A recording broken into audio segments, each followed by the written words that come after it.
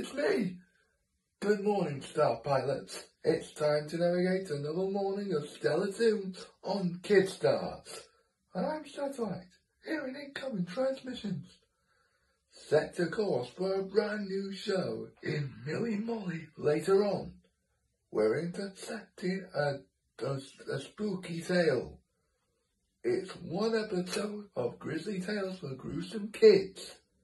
All of that and loads more to come this morning on Kidstars. Let's burn off with Thomas and Friends.